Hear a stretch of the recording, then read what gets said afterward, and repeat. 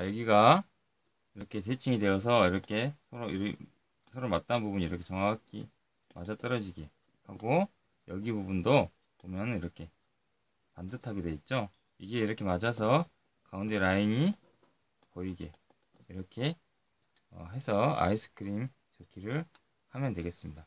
그 다음에 여기서 어, 바로 고기 접기를 한번 가볼게요. 고기 접기. 고기 접기는 어떻게 하냐?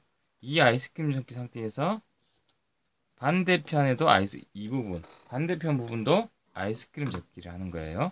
아이스크림 접기를 이렇게 반듯하게 이 아이스크림 접기를 또 끝에 모서리를 잘 맞춰줘야 된다 그랬죠?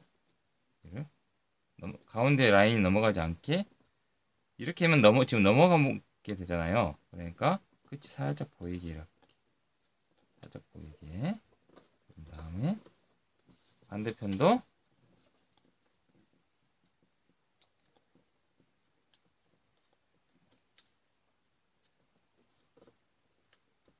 끝이 살짝 보이게 이런 식으로 해서 이쪽에다 접기 한번 하고 아이스크림 접기를 한번 했어요.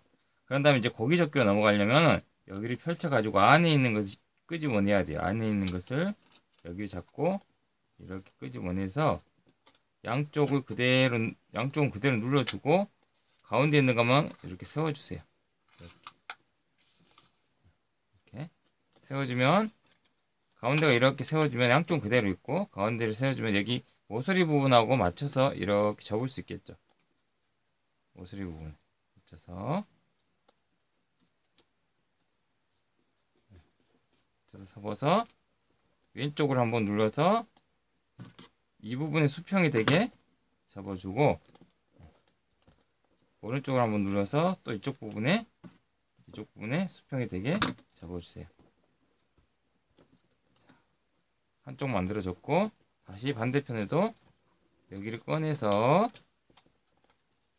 꺼내서 이렇게 눌러주면서 자 이렇게 여기를 세워도 되지만 세우는 것보다 옆으로 여기 바로 눌러서 여기서 이렇게 해서 여기를 꺼내서 바로 이렇게 눌러도 되겠죠?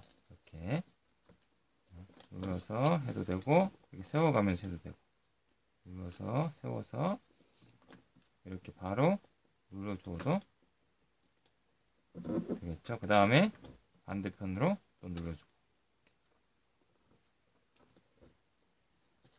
이렇게 해서 눌러주면 고기 접기가 완성되었습니다.